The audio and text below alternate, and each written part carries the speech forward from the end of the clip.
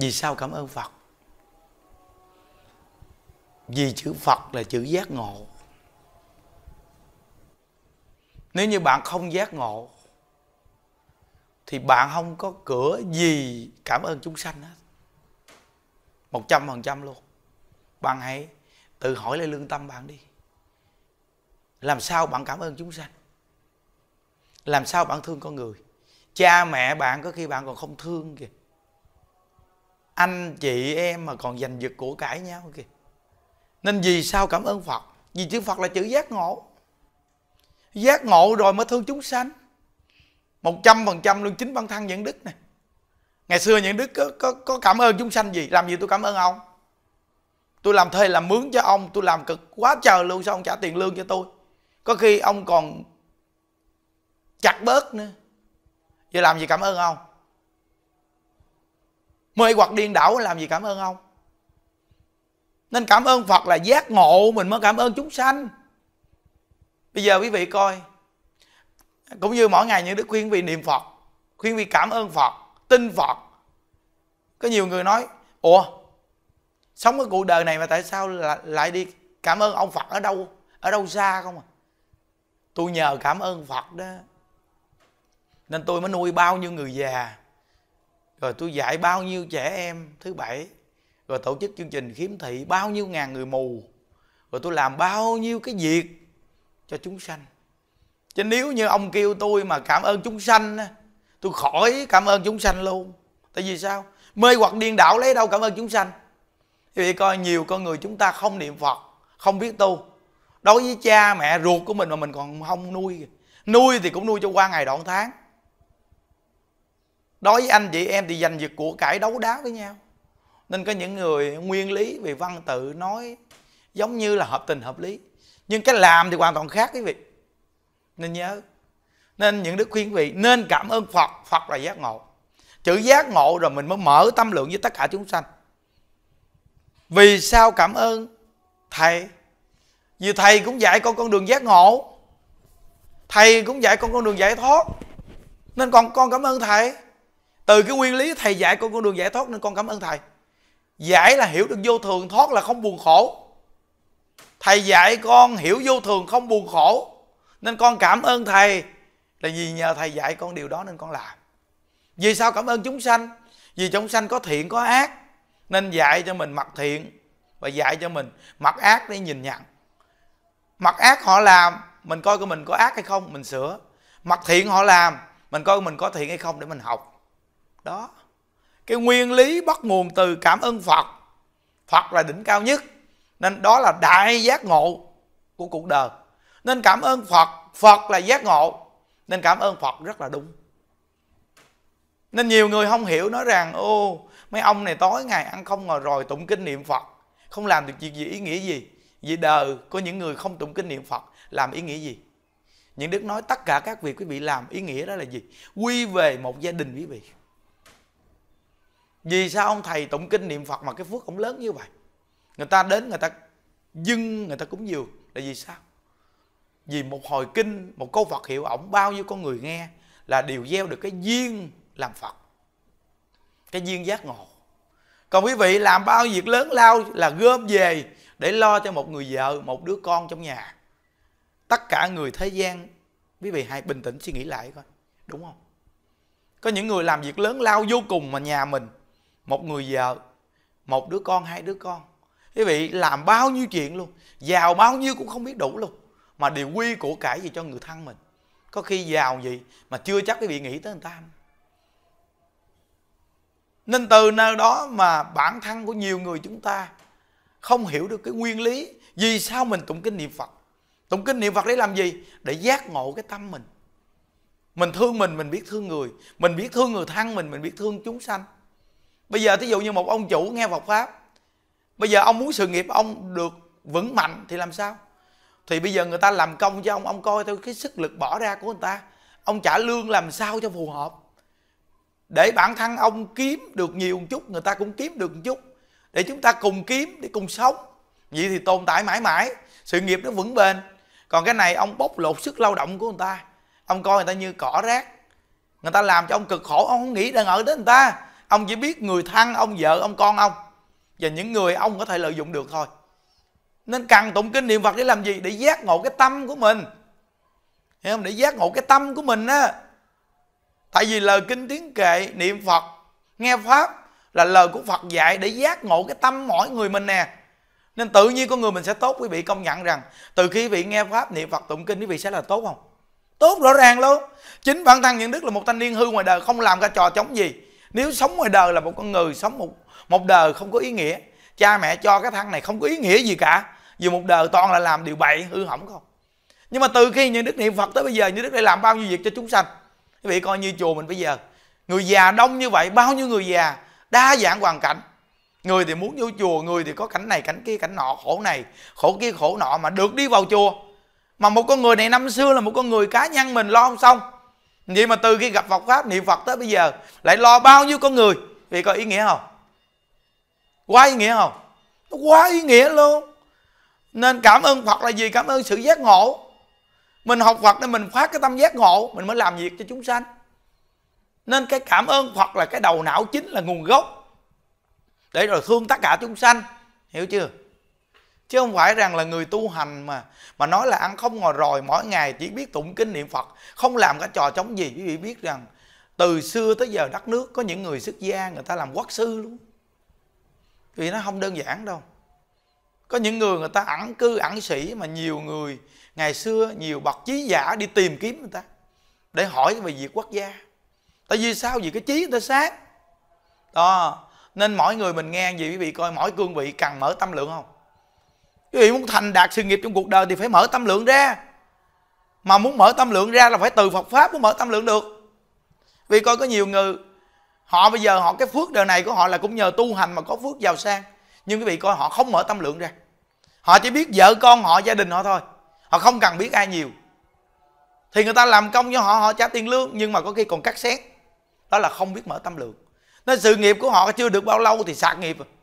Nên quý vị học phật, niệm phật cảm ơn phật là gì sao? Vì giác ngộ. Cảm ơn phật đã dạy mình giác ngộ cái tăng, hiểu không? Chính bản thân nhà đức cảm ơn phật cảm ơn thầy là gì sao? Vì phật là sự giác ngộ. Thầy dạy mình cái giác ngộ này. Thầy phật đã nhập niết bàn nên thầy ông giảng pháp ông dạy mình nên mình nghe mình mới giác ngộ. Nên mình đi theo con đường đó là trả ơn báo ơn. Quý vị công nhận rằng những gì quý vị làm thiện quý vị mong có người kế thừa để làm tiếp tục không? Kế thừa là quý vị mừng, đã có người nói tiếp. Họ là người cảm ơn thật sự vì họ kế thừa. Nên Phật pháp từng đời được còn tồn tại, còn thịnh là vì sao? Vì có người kế thừa. Kế thừa chỉ dạy người ta mở tâm lượng ra. Người xuất gia cũng mở tâm lượng, người cư sĩ cũng mở tâm lượng. Mọi một con người đều mở tâm lượng.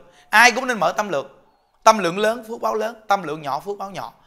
Đóng lại cái tâm lượng thì hoàn toàn bế tắc nên con người sống trong cuộc đời cần học phật là gì sao? Vì đó là mở tâm lượng. Con người mở tâm lượng rộng lớn rồi ít khổ, thường vui. Còn một con người tâm lượng hẹp hòi là thường phiền não, thường ích kỷ nhỏ mọn thì thường khổ. Mà cái nhân đã như vậy, cái quả cuối đời bị sao mà tốt? Cái sự tái sinh bị sao tốt? Nên cảm ơn phật là nguồn gốc, là trí tuệ, là giác ngộ. Nên cảm ơn phật rất là đúng. Bản thân những đức học phật mới mở được tâm lượng này ai dạy những đức mà hôm nay làm việc này? Có người thế gian dạy không có được. Chỉ có phật pháp. Rồi gặp ông thầy, ông nói phật pháp, mới dẫn dắt mình, rồi mình mới tiếp nhận phật pháp. Rồi lúc đó mình mới có thể làm được những việc lợi ích cho chúng sanh gì. Nên cái việc cảm ơn phật là việc cực kỳ quan trọng, đó là nguồn gốc. Nguồn gốc vô cùng quan trọng luôn. Mà xuyên qua người giảng pháp chỉ dạy mình, để cho mình hiểu được cái nguyên lý. Rồi mình hành trì rồi mình được kết quả. Đó nên cái chuyện cảm ơn phật rất là thù thắng. Phật là sự giác ngộ. Nên mình nghe những bài chia sẻ này nè cái góc độ nhận thức mình nó còn mở rộng ra thêm có những người thí dụ như người ta làm ăn cực khổ người ta có được sự nghiệp người ta có, đạt được chút sự nghiệp đi bắt đầu có khi cái góc độ nhìn cặp mắt của người ta nhìn ta nói ồ mấy ông này tối ngày cứ vậy không chứ ngoài ra không lo làm ăn cái gì. Người ta lam lũ làm cũng chết. Cực khổ còn mấy ổng thì tối ngày cứ nói gì không? Ăn không ngồi rồi. Đúng rồi. Quý vị làm muốn chết là đúng rồi. Vì quý vị không nghe được phật pháp. Quý vị làm muốn chết luôn mà tâm trạng bị phiền não. Nên quý vị lợ người ta giảng pháp cho quý vị nghe nên phải, phải quý vị phải cúng dường. Đúng rồi đó có nhiều người người ta cũng có tiền giàu sang mà người ta lại bị phiền não. Nhờ người ta nghe pháp mà người ta cởi mở tâm tư, nên sanh tâm cảm ơn nên mới cúng dường tam bảo. Còn có nhiều người cứng ngắc luôn, khổ te tua mà đóng cái tâm lại, chỉ biết trách mà không biết mở cái tâm ra để học. Thì nhà phật nói là nhất xiển đề, thiếu thiện căn. Có khi mình có tiền, bạc, có địa vị nhưng mình vẫn khổ, tại sao mình không mở tâm ra? Ở đây bao nhiêu con người sống, đông thiệt là đông. Chùa chúng ta ba bốn điểm chùa bây giờ hiện tại, dịp hè này là sống mỗi ngày một ngàn tám trăm người. Người nào đa phần sống cũng vui, phần nhiều đều là vui. Gặp nhau, chào nhau. A với đạo phật hoặc nam mô với đạo phật.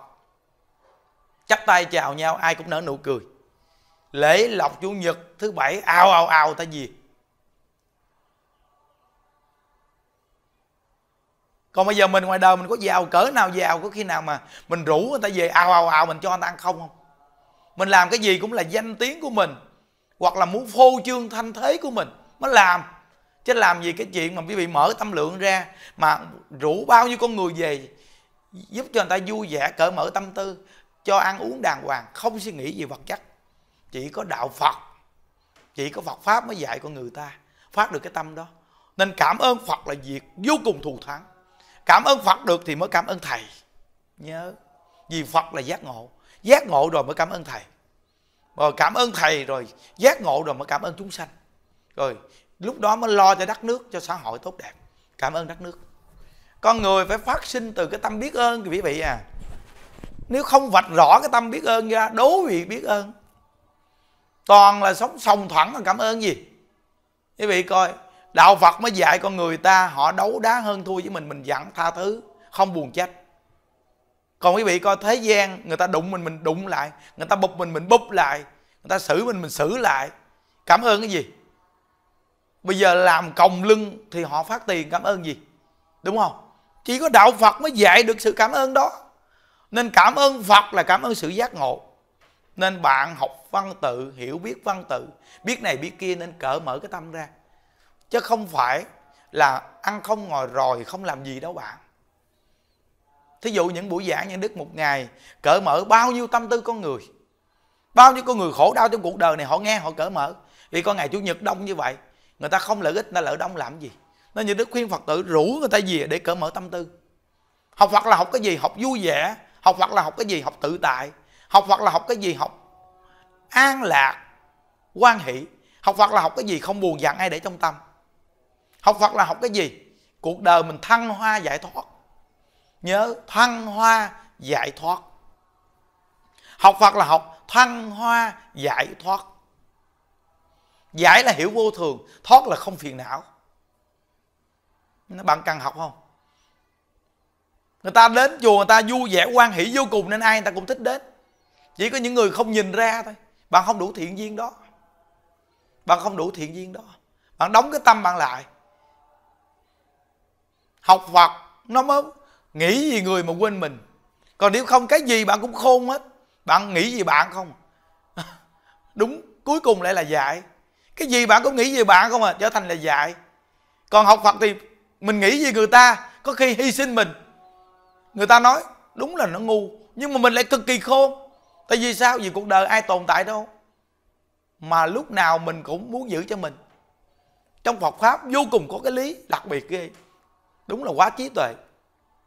Cái cõi đời này có ai sống hoài đâu mà giữ được. Đúng không? Có ai giữ, sống hoài đâu mà giữ.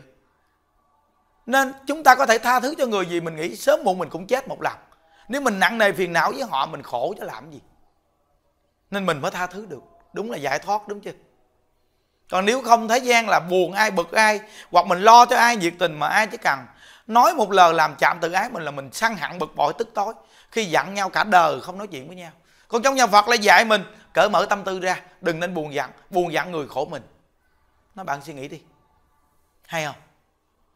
Đạo phật dạy mình á, tha thứ cho người gì mình mình khôn, không tha thứ cho người thì mình khổ. Đó.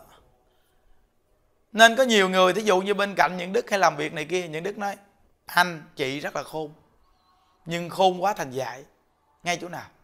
Cái gì cũng sợ tổn mình trở thành ích kỷ nho mọn, cái gì cũng sợ tổn mình ích kỷ nho mọn, cái gì cũng sợ mình bị bị bị bị ảnh hưởng ích kỷ nho mọn. bạn cái gì cũng lo sợ gì bạn không à? Bạn khôn cái này khôn cái kia sợ người ta la bạn. Bạn cũng nghĩ gì bạn nữa? Bạn nhiệt tình gì người ta để người ta la bạn cái coi cái tâm bạn sao? Bạn là người học phật mà. Thử coi cái tâm bạn có nhẫn được không? Phật dạy nhẫn nhỏ thành tựu nhỏ, nhẫn lớn thành tựu lớn. Nhẫn cái gì? Vậy coi, tất cả sự thành tựu của con người trong cuộc đời từ xưa tới nay đều là từ chữ nhẫn mà ra. Học nghề không nhẫn sao thành nghề? Học đạo không nhẫn sao thành phật?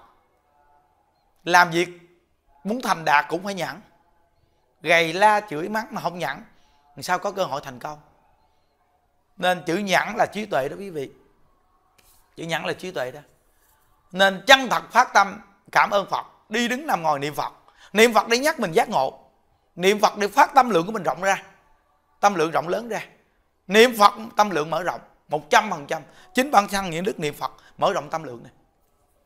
Những đức hỏi vị không mở rộng tâm lượng. Sao tổ chức lễ viếng quan âm cho quý vị 4 ngày? Quý vị nói tổ chức 4 ngày đơn giản lắm mà. 4 ngày giảng 16 buổi thuyết pháp. Lại 2 ngàn lại Bồ Tát Quán Thế Âm. Quý vị thấy trong cái cuộc đời này, mấy người làm? Vì sao những đức làm? Chỉ có đúng một nguyên lý gì? Nguyên lý gì? Là còn sức khỏe làm được trong cuộc đời này. Biết sử dụng cái thân giả tạm này. Biết sử dụng cái thân giả tạm này. Nếu thân giả tạm này mà không sử dụng đúng nơi đúng chỗ, thì phí phạm một đời. Một ngày nào nó cũng ra bả. Hoặc là thiêu đốt thì còn một nắm cho tàn. Tại sao bạn bây giờ không dùng cái thân giả này để làm những việc ý nghĩa trong cuộc đời? Tôi cũng vì nghĩ như vậy mà tôi làm tới cùng luôn. Làm bao nhiêu việc trong cuộc đời này. Nên tôi mới nói rằng của thiên trả địa. Bạn khi hiểu được thì mở rộng tâm lượng. Bạn mới có thể biết phục vụ chúng sanh, biết bố thí cúng dường. Vì sao? Vì bạn lấy cái giả đổi thành cái thật, thành thiện căn công đức. Nếu bạn không hiểu nguyên lý này, cả đời bạn đến thế gian này đa phần đi tạo nghiệp. Rồi khi một hơi thở thở ra không hít vào, không có cái gì bạn cầm theo được cả nên như đức thường khuyên tất cả những, những người trưởng đoàn nhiệt tình hết mình dẫn người ta đi tu. Diếu âm 4 ngày nhiệt tình dẫn người ta đi tu. Du Lan 3 ngày nghỉ lễ Tổ chức Du Lan tháng 7 dẫn người ta đi tu. Nhiệt tình cực lực hết mình dẫn người ta đi tu. Phát động chương trình Giới thiệu chương trình lên để cho người ta đi tu. Chúng ta đâu có cầu tiền bạc đâu Giúp cho người ta tu hành mà. Hiểu được rồi, giác ngộ rồi, cảm ơn Phật rồi. Cảm ơn Thầy, cảm ơn chúng sanh rồi. Thì Nhiệt tình hết mình làm luôn. Cảm ơn đất nước, mong cho con người Ai cũng được tiếp nhận giáo dục. Quý vị coi, đất nước chúng ta nếu con người được tiếp nhận giáo dục thì vợ chồng hạnh phúc, con hiếu thảo với cha mẹ thì đất nước cường thịnh chứ làm sao? Đúng không? Mà nền giáo dục trong nhà phật là dạy con người ta hiếu với cha mẹ. Đức phật nói rõ ràng, đạo phật là đạo hiếu, tâm phật là tâm hiếu. Đúng không? Nên xác thực rõ ràng luôn. Đó, nên cái tâm cảm ơn phật nó có một cái dụng ý rộng vô cùng để bao trùm nhân sinh còn cái tâm của bạn nói về cái câu cảm ơn chúng sanh bạn cảm ơn nổi không? Nó mỗi ngày nó chửi mắng nó đấu đá với bạn bạn cảm ơn nổi không? Nếu không có chữ giác ngộ bạn lấy gì cảm bạn cảm ơn? Bây giờ đối với chuyện vợ chồng thôi. Người vợ này không nghe Phật pháp làm sao cảm ơn chồng được? Làm sao nhịn chồng nổi? Có nhiều bà chồng nói vài câu là búp lên liền. Nó vợ chồng quýnh lộn âm âm âm. Từ khi đi về chùa tự nhiên có một người nhìn, nhìn được là gì sao? Vì nhãn. Là nhờ nghe giáo dục hiểu nhân quả mới nhìn. Đó chứ ai mà nhìn ai? Thôi ai mà chịu nhìn ai quý vị? Nó cảm ơn chúng sanh và nó hay lắm. Có cửa đó đâu. Nếu mà không từ phật pháp ra không nhìn nhận cái chuyện giải thoát mà cảm ơn chúng sanh không có vụ đó đâu. Nó thẳng tay xả xả láng. Chứ đừng có nói mà mình mình nói mình nhìn chúng sanh cảm ơn chúng sanh không có cái, cái chuyện đó đâu. Chính bản thân những đức là 29 tuổi mới đi tu này mà phát cái tâm này là do từ niệm phật mà ra. Rồi giết mình mới thấy cảm ơn phật. Mà nhờ người giảng thuyết nên cảm ơn thầy. Rồi nhờ chúng sanh, chung tay với mình nên cảm ơn chúng sanh. Nhờ đất nước hỗ trợ cho mình, bình yên nên cảm ơn đất nước. Nên mình cực lực nhiệt tình hết mình, làm việc cho tất cả mọi người. Thí dụ như bây giờ chùa mình bao nhiêu người già ở, chúng ta phải là chúng ta cùng chung tay với đất nước mình không? Rồi bao nhiêu người mù, lâu lâu như đức tổ chức, người ta về chùa cũng vui người ta cũng vui vẻ, nên đó cũng là cảm ơn đất nước chúng ta. Thương yêu chúng sinh, thương yêu con người. Cảm ơn phật, cảm ơn thầy. Nó nằm trong vị trí đó hết quý vị. Rồi bao nhiêu trẻ em đi về chùa mình? Dịp hè này, hai bên chùa cũng gần 600 em. Đi ra, đi vô chắc hơn một ngàn. Nó đến chùa, rồi sắp xếp cho quý thầy, sắp xếp thương yêu, lo lắng dạy dỗ các cháu. Nó cảm ơn đó. Cảm ơn đất nước mình gầy dựng mầm non cho đất nước mình sau này đất nước chúng ta sẽ có những nhân tài nhiệt tình hết mình, chân thật, đúng đắn để mà phục vụ nước nhà. Quý vị coi đó, từ cảm ơn phật mà từ chữ giác ngộ của phật mà chảy dài rộng ra đó. Còn nếu không, quý vị không học phật, không tìm hiểu phật pháp, không nhận thức được giáo lý của phật, quý vị dù ông chủ giàu đi chăng nữa cũng vì con vợ mình hoặc vì chồng, vì con mình, đúng không? Quý vị có làm những chuyện này không? Đâu có làm đâu. Giỏi lắm thì người ta làm công cho mình mình trả tiền lương cho người ta thôi chứ mình đâu có nghĩ ra những chuyện sâu xa, rộng rãi về nền giáo dục. Nên cái tư tưởng giáo dục của phật đà là vô cùng rộng. Con người phải cần tiếp nhận giáo dục. Khi tiếp nhận được giáo dục rồi, con người mới mở rộng tâm lượng, con người mới tốt được, quý vị. Nên cảm ơn phật phật là chữ giác ngộ, quý vị nhớ. Nên đi đứng nằm ngồi siêng năng niệm phật. Siêng năng niệm phật nhớ nghe. Đó. nên nghe cái bài giảng nhân sinh này cái. Quý vị, những đức nói, cương vị nào quý vị cũng nên học phật pháp đi chính bản thân như đức là một thanh niên hư hỏng nè. Mà học phật mà bây giờ còn làm được những việc ý nghĩa trong cuộc đời. Chính bản thân những đức thấy rõ ràng phật pháp cứu đời đời những đức này ý nghĩa vô cùng. Nên mỗi người nên giới thiệu Phật pháp cho người ta học Phật đi. Nhiều người ung thư, khổ, đau, buồn, chán, quá trời luôn. Người ta đi đến chùa mình, ta nghe pháp, cái tự nhiên người ta vui. Tâm mở cỡ mở tâm tư liền. Những ngày tháng còn lại người ta sống tốt liền. Bao nhiêu người già ở nhà, con cái, đối xử tệ bạc, khóc, buồn, chán vậy mà đi vô chùa mình bây giờ nhiều cụ vui vẻ, mặt tươi rối luôn. Thấy Phật pháp hay không? Tại sao mình không học Phật? Mình giới thiệu Phật pháp ra cho nhiều người học đi. Phật pháp dạy mình đâu phải là cạo đầu vô chùa đâu. Đâu phải ai nghe Phật pháp cũng là cạo đầu vô chùa đâu. Chúng ta nghe Phật pháp là nghe cái nền giáo dục trí thiện, quý vị nghe nãy giờ rõ ràng không? Nó khoa học chứ bộ giỡn đâu. Nó nó sanh ra từ khoa học chứ giỡn đâu à. Nên quý vị thấy không? Nó nó mình là một ông chủ mà nếu mình tiếp nhận Phật pháp thì mình thịnh vượng liền. Từ gương mặt tươi vui, không có áp lực cho mọi người. Mình làm việc, mình làm việc tình hết mình, nhưng có những lúc mình buông ra không bị áp lực về thần kinh. Hiểu không? Nó Phật pháp dạy mình không bị áp lực. Bây giờ quý vị coi chùa 1.800 người những đức quản lý. Đi tới đi lui coi việc này việc kia, mà quý vị thấy có bao giờ những đức nhức đầu không? Không bị nhức đầu. Ăn ngon ngủ yên luôn, vui vẻ luôn.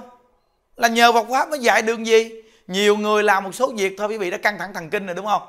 Ăn ngon ngon, ngủ không yên uống thuốc an thần uống cà phê.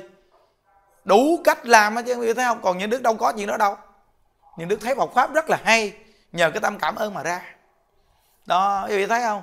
Vì thì thế gian hay là người đi tu vậy, ai không cần học phật? Con người là cần học phật à? Giáo pháp của phật là một giáo pháp trí thiện. Nên con người cần phải được học. Dù bạn ở tôn giáo nào, bạn cũng nên cần học phật pháp vì phật pháp dạy rất là rộng. Tại bạn chưa đủ duyên gặp thôi. Có khi bạn nghe lý luận cao siêu bạn không làm được nên trở thành tình chấp khó khăn. Chứ nếu như bạn học mà đúng á nghe bạn tự tại lắm á. Học phật bạn mà học đúng rồi bạn rất là tự tại rất là vui luôn. Nó, tại sao những đức có những buổi giảng như đức nói chuyện? Những cái văn tự nó thô thô nó ngộ ngộ lắm. Nó tiếu lắm mắc cười lắm vì chúng sinh nhiều người vậy. Người ta nghe cái ta thấy gần gũi liền tại sao buổi giảng như đức? Người ta nghe đâu? Vì đơn giản, nhiều người bình luận rằng thầy giảng quá đơn giản, quá dễ hiểu, nghe là áp dụng được liền. Đơn giản thôi, trong cái cuộc đời bạn nếu là giác ngộ rồi, thì đừng buồn giận ai để trong tâm. Đừng buồn giận ai để trong tâm. Vì bạn buồn giận người khác để trong tâm là khổ bạn, mà làm ảnh hưởng nhiều người. Thí dụ như mình là một ông chủ hay là người cha làm mẹ, hay là một người có sức ảnh hưởng gì, hay là một con người bình thường bạn chỉ cần săn hẳn là mọi người gặp bạn là từ trường của bạn tỏ ra, làm ảnh hưởng nhiều người. Đúng không? Khi bạn vui là thấy dễ gần gũi. Nhưng bạn săn hẳn, khó gần gũi. Thấy gần gũi không được. Đúng không? Nên bạn cần giác ngộ, đừng buồn giận người để trong tâm.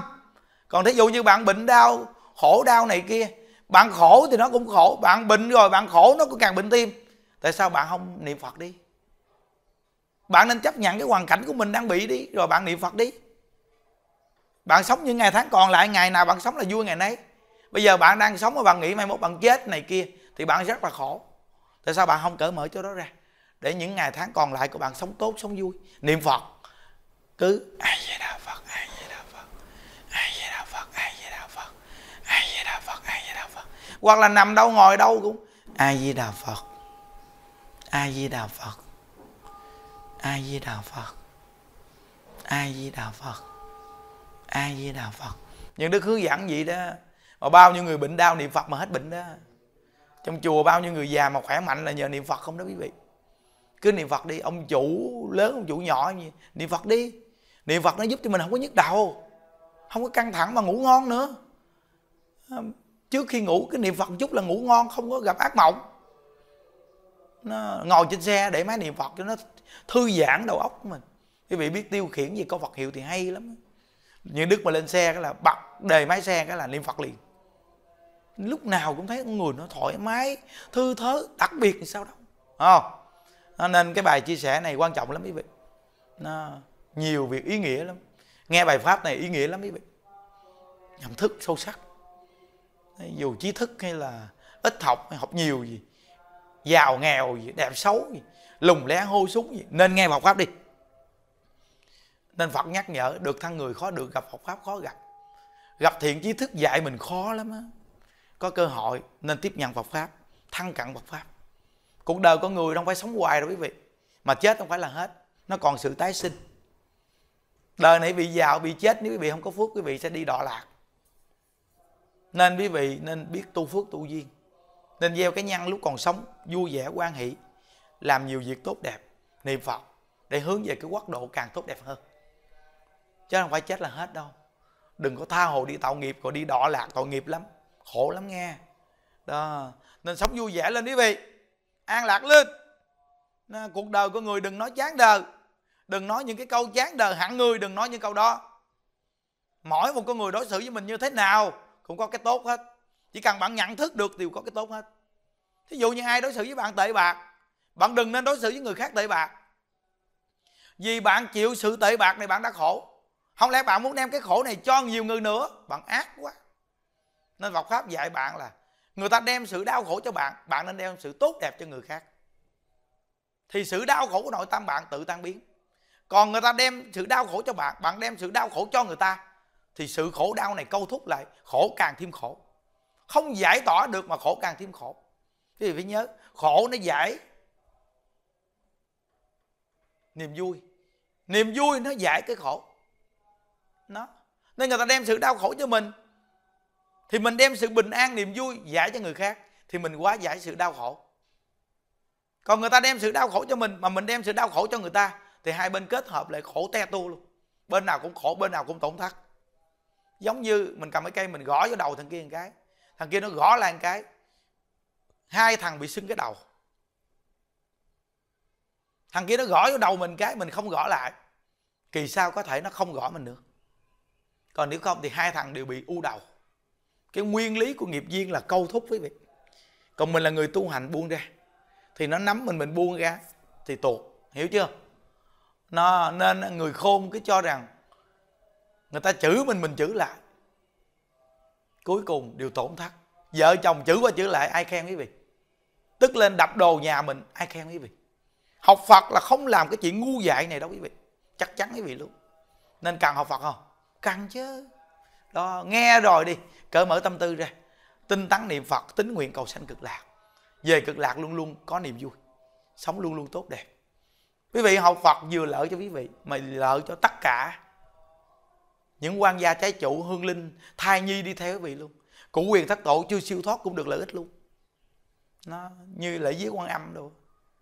Lễ dưới quan âm là kỳ này chúng ta tổ chức 4 ngày.